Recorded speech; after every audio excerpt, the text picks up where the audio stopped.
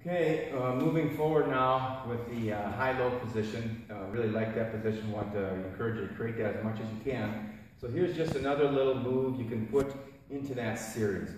Okay, we've got the high-low. Okay, so we're right here, like this here.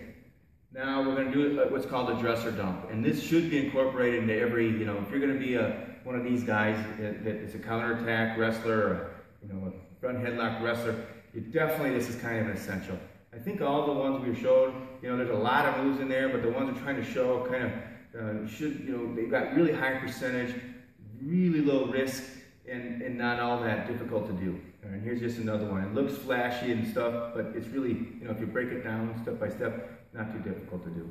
So here I am, and of course, you know, you know, you don't freeze this guy. Of course, if we were in live action, I'd be, you know, pushing a lot of pulling, a lot of pulling here, trying to, you know, make him move. He's in a poor position. His back is bent. His legs are getting tired. So I want to go ahead and make him work there as much as I possibly can because it's a 60-40, at least 70-30. So right here, now the dresser dump, you're going to go and move away from the leg you're going to attack just like normal. So here, you're going to backstep, do the compass move, change his angle, make him right there. Now, he takes that step. That's pretty much, that's pretty much all she wrote. You know, so again, it's all in the setup there. Don't cheat your setups, okay? Try to go ahead and really accent those setups. That's the big, big part. So move this guy's feet. Now you got to change his angle. Uh, just like you did on the mat before in the low level, the shoulder drops here. You listen to the back of his heart.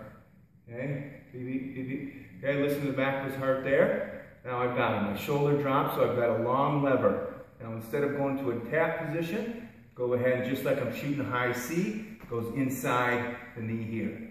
My penetration step is going to be very small, and it's going to go just outside the plane of his knee here, like this. Then I just lower my elevation, continue like I'm shooting a high crotch shot. Grapevine, your arm down his leg. Keep the arm tight. Let him hit his hip.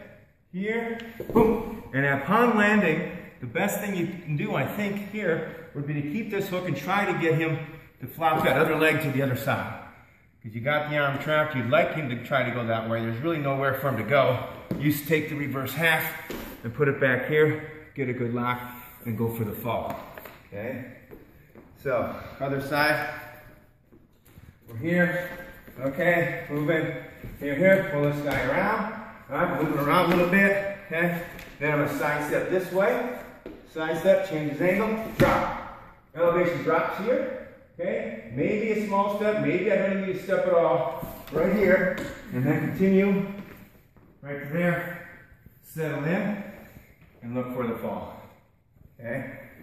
So there's another little tool you can use on that series. That's a dresser dump. I think if you incorporate that one with the other ones that we've uh, shown you here, you might be able to put together a little something that might be able to get you some, some good points. Thanks for watching.